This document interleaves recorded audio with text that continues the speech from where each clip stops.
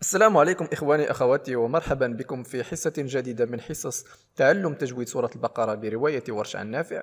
توقفنا في آخر حصة عند الآية 230 إذا لنكمل كما عودتكم أقرأ لكم قراءة عادية مع شرح القواعد وفي الأخير أقرأ قراءة مرتلة. أول شيء قلنا هو الاستعاذة بالله من الشيطان الرجيم يعني دائما الاستعاذة. وقلنا في الاستعاذة ننتبه لمخارج الحروف كمثلا أعوذ انتباه لحرف الذال والعين والهمزة يخرجان من الحلق.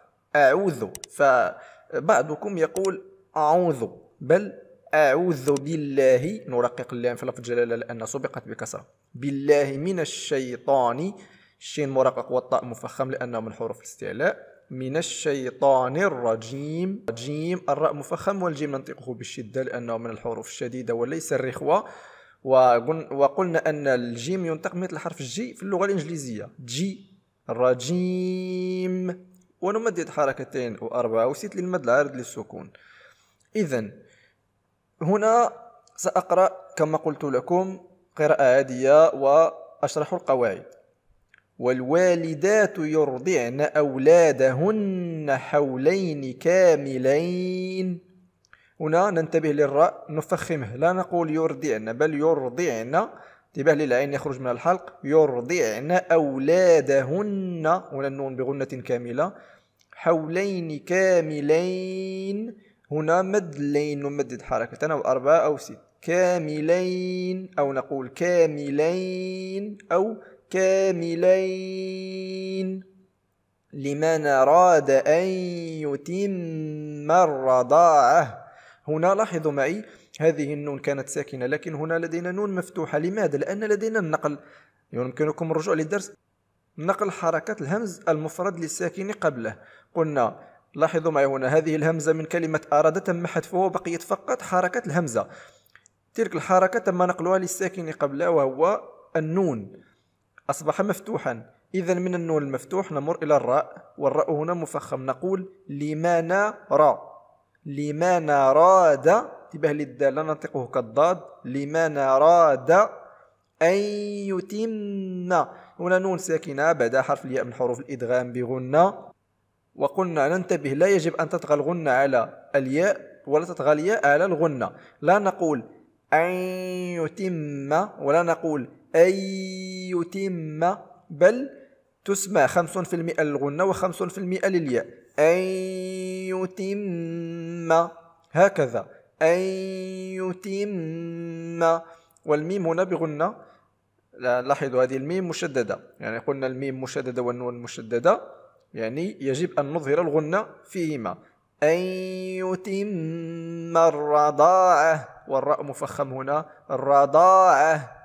نقف على التاء كأنه حرف الهاء. وعلى المولود له رزقهن وكسوتهن بالمعروف. وعلى المولود له. هنا نمدد حركتين لمد صلة الصغرى. وعلى المولود له رزقهن هنا الراء مرقق لأنه مكسور والنون بغنة كاملة وكلمة وكسوتهن هنا النون بغنة كاملة. بالمعروف الراء مفخم ونمدد حركتين أو أربعة أو ست للمد العارضي للسكون. لا تكلف نفس إلا وسعها. لا تكلف نفس إلا. هنا لدينا لاحظوا معي لدينا تنوين بعده هنا كلمة إلا لاحظوا الهمزة محذوفة. كذلك هنا لدينا نقل حركة الهمز المفرد للساكن قبله. لكن هنا أين هو الساكن؟ الساكن هو تلك النون الزائدة التي تلفظ ولا تكتب. عندما نقول نفس تسمعنا نون ساكنة. تلك النون ستصبح مكسورة. لماذا؟ لأن الحركة التي ستنتقل إليها هي الكسرة. وستصبح نفسني نفسني ونمر مباشرة إلى اللام مشدد هنا. نفسني لا وسعها. لا تكلف نفس إلا وسعها. لا تضار والدة بولدها ولا مولود له بولده. لاحظوا معي هنا نمدد ست حركات للمد اللازم. لا تضار. مع تفخيم الراء هنا لأنه مفتوح. والدة بولدها. هنا لدينا الإقلاب. يمكنكم مشاهدة درس الإقلاب من أحكام النون الساكنة والتنوين. والدة بولدها ولا مولود له بولده. وهنا ولا مولود له. لدينا التنوين بعد حرف اللام من حروف الإدغام بغير غنة. يعني إدغام كامل. ولا مولود له. وهنا نمدد حركتين لمد صلة الصغرى. ولا مولود له بولده. هناك من يقول لي آه، اشرح لنا القاعدة أكثر. مثلا عندما أقول هنا آه، لدينا إدغام بغير غنى يعني إدغام كامل هناك من يقول لي اشرح لي الدرس أكثر. الدرس إذا أردت أن تشاهده مشروح لوحده يمكنك أن ترجع لدرس فتبحث عن القاعدة وتشاهدها شرحتها مثلا درس أحكام النون الساكنة والتنوين الإدغام الكامل شرحته في درس لوحده. يعني هنا عندما أعلمك كيف تقرأ مثلا سورة البقرة وكل مرة أشرح لك حصة فعندما أذكر لك قاعدة فقط إذا لم تكن تفهمها أو يستعصي عليك الأمر ارجع لتلك القاعدة وشاهدها وطبقها ثم تابع معنا هنا في هذا الشرح. فهذا الشرح؟ أقدمه لي لمن هم شاهدوا الدروس بأكملها يعني دروس قواعد التجويد بأكملها. والآن يتابعون معنا شرح تعلم الصور. إذا لنكمل. وعلى الوارث مثل ذلك. انتباه.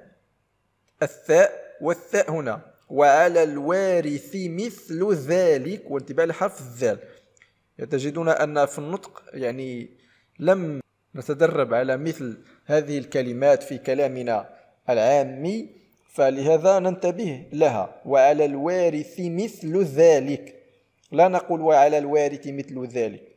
وعلى الوارث مثل ذلك يعني إخراج الحرف من مخرجه وإعطائه صفته. فإن أراد هنا كذلك لدينا نقل حركة الهمز المفرد للساكن قبله. كما شرحت هنا تماما فإن أراد فصالا انتباه للصاد مفخم فصالا ولدينا تنوين وبعده حرف العين من حروف الإظهار. إذا نظهر تلك النون في التنوين. نقول فإن أرادا فصالا عن تراض منهما وتشاور فلا جناح عليهما. فإن أرادا فصالا عن تراض. هنا نخفي هذه النون غلط الإخفاء نرقق ولأن بعد حرف التاء مرقق والراء هنا مفخم لأنه مفتوح. لدينا الضاد تحته هنا كسرتان يعني تنوين وبعده حرف الميم. من حروف الإدغام بغنة نقول عن تراض منهما ونظهر هذه النون لأن بعدها حرف الهاء من حروف الإظهار. وتشاور ثلا هنا تنوين هنا تنوين وبعدها حرف الفاء من حروف الإخفاء والفاء مرقق. إذا غنة الإخفاء نرققها ونقول وتشاور فلا جناح عليهما. وإن أردتم هنا لدينا كذلك النقل. نقلت حركة الهمز المفرد للساكن قبله وهو حرف النون أصبح مفتوحا. نقول وإن ونمر مباشرة إلى الراء وهو مفخم. وإن أردتم لكن انتبهوا معي هنا. لدي حرفين وهما الدال وحرف التاء. يعني لدينا هنا إدغام المتجانسين. لماذا؟ لأن الدال والتاء حرفان متفقان في المخرج. لكن اختلفا في بعض الصفات. يمكنكم مشاهدة الدرس إدغام متجانسين والمتماثلين وكذلك المتقاربين. إذا قلنا الدال والتاء هما حرفان متجانسان. فعندما ننطق هذه الكلمة نقول وإن تو من الراء إلى إلى التاء. لكن لا نقلقل الدال لا نقول وإن ردتم. فنطقها صعب. فبما أن لديهما نفس المخرج فاللسان عندما نقل ننطق الدال ساكنة وثم نعود لننطق التاء كأن اللسان يرجع لنفس المخ... لنفس المنطقة مرتين. لذلك لا نقول أرادتم بل وإن أردتم لاحظوا التاء فهي مشددة نتيجة لهذا الإدغام. وإن أردتم أن تسترضعوا أولادكم فلا جناح عليكم إذا سلمتم ما آتيتم بالمعروف. هنا نمدد ست حركة لمد الصلة. الكبرى وهنا نخفي النون ونرقق غنة الإخفاء لأن بعدها حرف التاء وهو مرقق. أن تستا تسترضعوا نفخم الراء. وهنا نمدد ست حركات للمد المشبع المنفصل. وهنا لدينا أولادكم تنتهي بميم ساكن وبعدها حرف الفاء يعني إظهار شفوي من أحكام ميم ساكنة. أولادكم فلا جناح عليكم. نمدد هنا ست حركات لمد صلة ميم الجمع. إذا سلمتم هنا سلمتم تنتهي بميم ساكنة بالرغم أن تلك السكون لم ترسم فوقها وبعدها ميم مشددة يعني إدغام شفوي وهو من أحكام الميم الساكنة. سلمتم ما مع مد ست حركات هنا للمد المشبع المنفصل ولدينا كلمة آتيتكم فيها هنا همز ممدود يعني مد البدن نمدد حركتين أو أربعة أو ست. آتيتم بالمعروف هنا أتيتم تنتهي بميم ساكنة وبدأ بالمعروف تبدأ بحرف الباء يعني الإخفاء الشفوي وهو من أحكام ميم ساكنة. أحكام ميم ساكنة فيها الإخفاء الشفوي والإدغام الشفوي والإظهار الشفوي. شرحت هذا في درس من قبل. ورأينا الآن هذه الأمثلة الثلاثة. هنا الإخفاء الشفوي ورأينا هنا الإظهار الشفوي وهنا الإدغام الشفوي. إذا جيد. بالمعروف نمدد هنا حركتين أو أربعة وست للمد العرض للسكون. واتقوا الله. انتباه للتاء لا ننطقه كالطاء. واتقوا الله. ونفخم اللام في لفظ الجلالة ونقف بالمد. وذلك تعظيما للخالق سبحانه وتعالى. واتقوا الله. واعلموا أن الله بما تعملون بصير. واعلموا. هنا نمدد ست حركات للمد المشبع المنفصل. والنون هنا بغنة كاملة واللام في لفظ الجلالة. مفخم بما تعملون بصير. هنا نمدد حركتين وأربعة وست المد العارض للسكون. لا نفخم حرف الباء. بصير. والراء مرقق لأنه سبق بياء ساكنة. إذا لكي لا أطيل عليكم أتوقف هنا وأشرح وأرتل لكم هذه الآيات التي شرحت. إذا تابعوا معي. أعوذ بالله من الشيطان الرجيم. والوالدات يرضعن أولادهن حولين كاملين. لمن أراد أن يتم الرضاعة وعلى المولود له رزقهن وكسوتهن بالمعروف. لا تكلف نفس إلا وسعها. لا تضار والدة بولدها ولا مولود له بولده. وعلى الوارث مثل ذلك.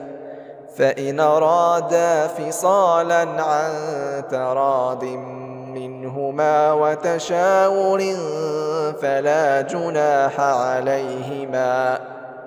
وإن أردتم أن تسترضعوا أولادكم فلا جناح عليكم إذا سلمتم ما آتيتم بالمعروف واتقوا الله واعلموا أن الله بما تعملون بصير. أتمنى أن تكونوا قد استفدتم من هذا الدرس وقد نال إعجابكم وتعرفتم على القواعد. وأطلب منكم أن تطبقوها. وإن شاء الله نلتقي في الحصة المقبلة. والسلام عليكم ورحمة الله وبركاته.